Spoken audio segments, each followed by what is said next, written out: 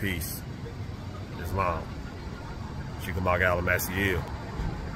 Live deep, deep down in Alamassee Arabian country.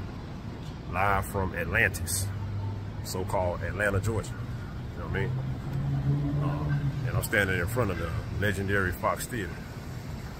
And, I mean, it don't take a rocket scientist to figure out this structure is definitely was formerly in the old empire a mosque.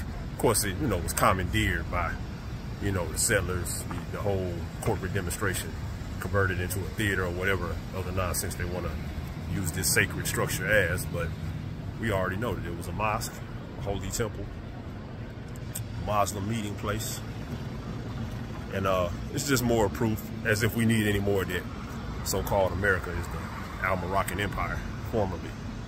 It still is, but you know. But check this out, man. I mean, do, I mean, does it get any more obvious? You know, that the Muslims was heavy in Atlantis, or so-called Atlanta, in the old antebellum South. I mean, come on, man.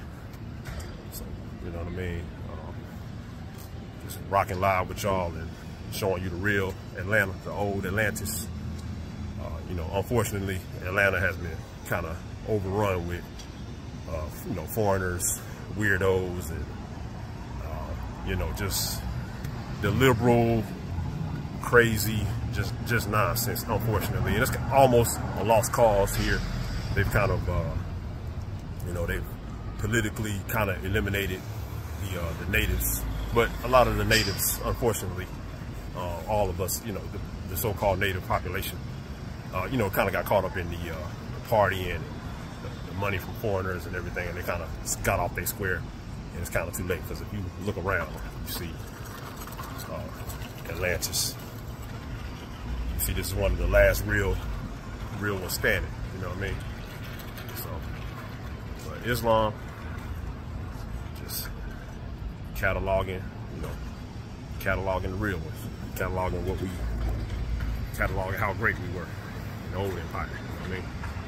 Straight up. I'm gonna start calling it, it's the Kremlin of the South, you know what I mean?